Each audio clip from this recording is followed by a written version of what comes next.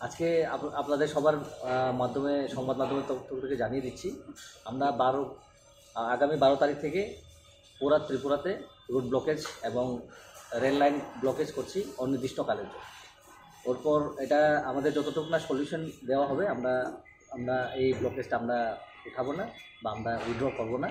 আমাদের এটাই থাকবে, আমরা এখন কারোর সাথে কথা বলব না। ডাইরেক্ট সিম আমাদেরকে লিখে দিতে হবে বা আমাদের জানে এডুকেশন ডিপার্টমেন্টে উনি আছেন। উনি আমাদেরকে লিখিত দিতে হবে যে রোমান স্ক্রিপ্টে বড় সাবজেক্টে চলবে আর আপনারা দেখেন এখানে আমাদের সংবিধানে লেখা আছে freedom of speech and expression এটার অবমাননা করা হচ্ছে।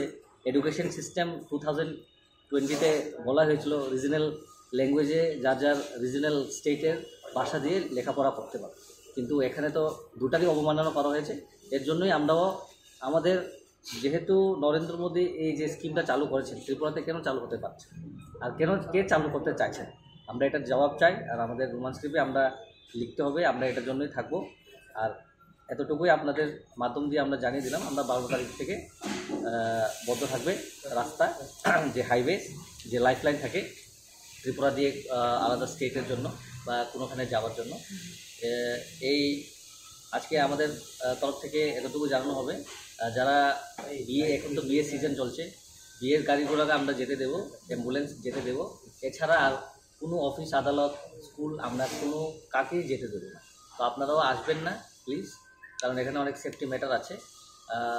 আর যারা এখন থেকে কিছু জিনিসপত্র কিনে রাখবেন, কারণ রাস্তা বন্ধ হয়ে গেলে হয়তোবা আগামী দিনে ত্রিপুরা রাজ্যে জিনিসপত্র পেট্রোল খাবার দাবার জিনিসের শর্টেজ করতে পারে। আজকের থেকে আপনাদেরকে জানিয়ে দিলাম এর জন্য আমরা দুদিন টাইম দিয়েছি। দুদিনের মধ্যে আপনারা যা যা ব্যবস্থা করার আছে আপনারা করে দেবেন। ধন্যবাদ। যে এর আগে প্রেস মিট করে আপনি বলেছিলেন যে আপনাদের সাথে কথাবার্তা হয়েছে এবং হিউম্যান সিট লিখতে হবে। কে কথাবার্তা? আম- আমাদেরকে যে এখন সভাপতি আছেন যে কোনো উনি চৌধুরী টিবিএসসি উনি বলেছিলেন। আপনারাও দেখেছেন, বিভিন্ন সংবাদ মাধ্যমে উনি বলেছিলেন। আমাদের কাছে এখনও ওই ভিডিওগুলো রয়েছে। উনি বলেছিলেন যে দুটো দিয়ে আমরা পসিবল করে দেবো, দুটোই আমরা সুইটেবল করে দেবো। আমাদের দাবিও এটাই ছিল, আমরা কারোর বিপক্ষে নয়, কোনো ভাষার আমরা বিপক্ষে নয়। আমরা চেয়েছিলাম বাংলাও থাকুক, আর ওর পরে রোমান স্ক্রিপ্টও থাকুক, কী আছে, যা যা যে পছন্দ ওরা ওটা দিয়ে কিন্তু উনি তো এটা অস্বীকার করলেন ওই জন্য আমাদেরকে এই স্টেপটা নিতে হবে। যেদিন আপনি বলেছেন তা এদিন রাত্রে গভীর রাতে উনি একদিন মানে বক্তব্য রেখেছেন। সেই বক্তব্যতে বলেছেন যে পুরনো যেভাবে চলেছে সেভাবেই চলবে। হ্যাঁ আপনি কি মনে করছেন মানে এটার ভিত্তিতে কোনো রাজনীতি মানে কেন হঠাৎ করে এত গভীর রাতে? আমার তো মনে হচ্ছে এটা রাজনীতি কারণ কেননা উনি যে বলেছিলেন যে সিবিএসসির যে একটা লেটার দিয়েছেন ওটা দিয়ে কি উনি সংযুক্ত করবেন? স্টেট গভর্নমেন্টের স্কুল বা টিবিএসসি তো স্টেট গভর্নমেন্ট দিয়ে চলে। ওটা তো সেন্ট্রাল বোর্ড দিয়ে সিবিএসসি দিয়ে চলা হয় না বা ওটা দিয়ে পরিচালনা করা হয়।